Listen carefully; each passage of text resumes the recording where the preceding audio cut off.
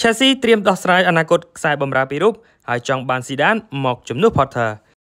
ក្លឹប Chelsea កំពុងពិចារណាក្នុងការលក់ខ្សែបម្រើ Mason Mount នៅក្នុងទីផ្សារដោះដូររដូវក្តៅនេះប្រសិនបើរូបគេមិនបន្តកិច្ចសន្យាថ្មីជាមួយក្លឹបកងត្រាបច្ចុប្បន្នរបស់កីឡាករអង់គ្លេសរូបនេះនៅ Stamford Bridge នឹងផុតសុពលភាពនៅដំណាច់រដូវកាល2023-2024ហើយក្លឹបពិចារណាលក់រូបគេប្រសិនបើមិនអាចឈានដល់ការព្រមព្រៀងកងត្រាថ្មី នេះវាយោងតាមប្រភពពីអ្នកសារព័ត៌មាន David Ornstein របស់ស្ថាប័ន The Athletic ក្លឹប Liverpool Manchester United និង Manchester City កំពុងតាមដានស្ថានភាពរបស់កីឡាករដែលដុតដាលចេញពីថ្នាក់របស់ Chelsea រូបនេះពាក់ព័ន្ធនឹងក្លឹប Chelsea នេះដែរខ្សែបម្រើ N'Golo Kante ចិត្តឈានដល់ការចរចាបន្តកងត្រាថ្មីជាមួយក្លឹបបន្ទាប់ពីសះស្បើយពីរបួសសរសៃពួរដែលធ្វើឲ្យគេខកខានពីទីលាន តាំងពីខែតុលាឆ្នាំ2022មក នេះបើយោងតាមការចុះផ្សាយពី Daily Mail ទោះបីជាមានវ័យ31ឆ្នាំទៅហើយខ្សែបម្រើបារាំងរូបនេះនៅតែស្ថិតនៅក្នុងការចាប់អារម្មណ៍ពីក្លឹបធំៗមួយចំនួននៅអឺរ៉ុបដោយកន្លងមកគេមានការភ្ជាប់ជាមួយ Barcelona និង Paris Saint-Germain ក្លឹបតោខៀវបានផ្ដល់សំណើកុងត្រារយៈពេល2ឆ្នាំនិងជំរើសបន្លាយដល់ឆ្នាំទី3សម្រាប់កាន់តែគណៈម្ចាស់ពាន World Cup 2018ចង់បានរយៈពេលវែងជាងនេះអតីតអ្នកចាត់ការ Real Madrid លោក Zinedine Zidane ស្ថិតនៅក្នុងបេក្ខភាព មកដឹកនាំក្រុម Chelsea ប្រសិនបើក្លឹបបញ្ចប់តំណែងគ្រូបង្គោលបច្ចុប្បន្នលោក Graham Potter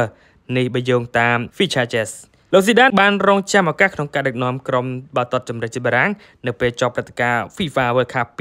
2022ប៉ុន្តែសហព័ន្ធបាល់ទាត់បារាំងបានសម្រេចបន្តកុងត្រាដល់គ្រូបង្គោល Didier Deschamps រហូតដល់ឆ្នាំ2026ដូច្នេះ Chelsea អាចជាជម្រើសមួយសម្រាប់លោកស៊ីដានប្រសិនបើចង់ត្រឡប់ទៅកាន់ការងារជាគ្រូបង្វឹកបាល់ទាត់ជាថ្មី។ ពាក់ព័ន្ធទៅចាំរាមនៅព្រីមៀរលីកនេះដែរខ្សែប្រយុទ្ធ Wilfred Zaha ត្រូវបានរាយការណ៍ថាមានការភ្ជាប់ទៅនឹងក្លឹប Al Nassr បន្ទាប់ពីបដិសេធសំណើបន្តកងត្រាម្ដងជាពីរដងជាមួយ Crystal Palace យោងតាមប្រភពពី Evening Standard ក្លឹប Al Nassr ដែល Cristiano Ronaldo កំពុងប្រកបអាជីពនៅទីនោះស្ថិតនៅក្នុងចំណោមក្លឹបដែលចង់បាន Zaha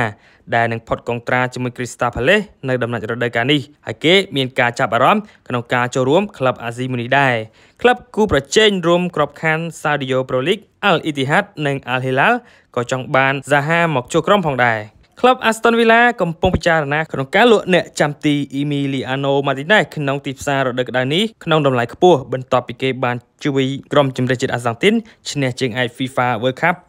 2022នេះបើយោងតាម Daily Mail Martinez និងភ្នាក់ងាររបស់គេបានបញ្ជាក់កាលពីថ្មីថ្មីនេះថាអ្នកចាំទីរូបនេះមានមហិច្ឆតាក្នុងការលេងឲ្យក្លឹបដែលមានការប្រកួតប្រជែងពីរង្វាន់ធំធំនៅអឺរ៉ុបក្លឹប Manchester United Chelsea និង Tottenham Hotspur ត្រូវបានរាយការណ៍ថាចាប់អារម្មណ៍ចង់នាំយកកីឡាករអាសង់ទីនរូបនេះទៅចូលរួមក្នុងទីផ្សាររដូវក្តៅខាងមុខ